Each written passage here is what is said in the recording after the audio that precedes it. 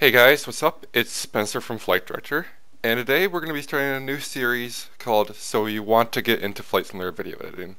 This series is going to bring you through the steps of getting you to being a full editor in the flight sim community and making YouTube videos. So, without further ado, we're going to start with episode 1. Episode 1 is going to be about the software that you want to get if you want to start editing. So, first off, obviously, you need to get Microsoft Flight Simulator X. Um, I mean, this one is a given. I'm sure most of you already have this if you're even looking at the game into Flight Simulator editing. But it's only right now $18 on Amazon. It's typically 40. Um, not that big of a deal. Um, and obviously, it's a necessity if you want to get into Flight Simulator X video editing. Alright, so that's the simulator. Next thing is a video recorder. But there are two options for video recording.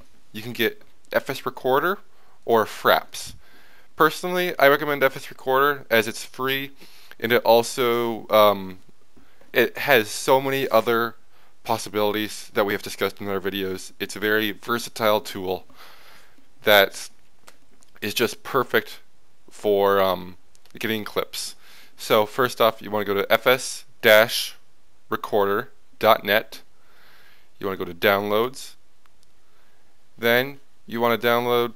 Um, oh, you want to go to the forum. I'm sorry because the um, thing is not totally out yet. You want to go to um, uh, general uh, alpha releases,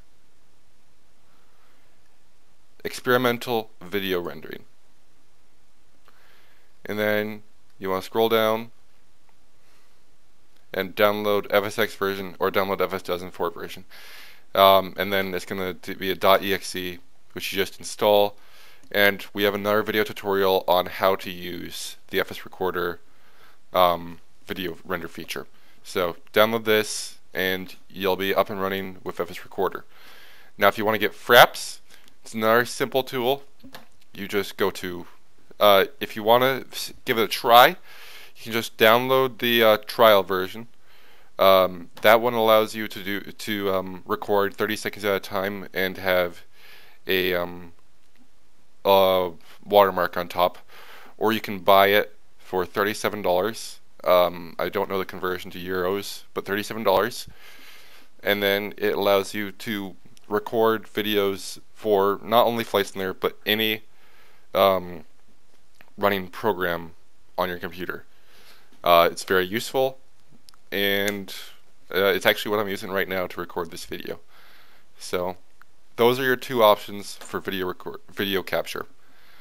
Next is the video editing software. Personally, I recommend getting Sony Movie Studio Platinum. It's not the full version of Sony uh, Movie Studio, which is Pro, and that version is about $600, which unless you have a bunch of money to burn, is probably too much money. So this one right now is $80 and it's typically 130 um, I highly recommend it.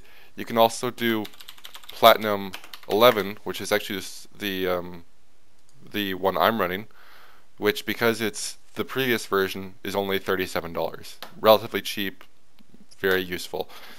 So this is what I recommend getting if you want to um, for editing. Now the other option that you'll see many people use is Adobe After Effects. This one is a little bit on the pricier side. Um, typically $1,000 actually costs $850. If you're just getting into editing, do I do not recommend this. Uh, this is a very complex system of editing that is probably going to go way above your head and you're just going to be out a thousand dollars. However, if you do, um, just get it from Amazon or go to or get it from Adobe.com.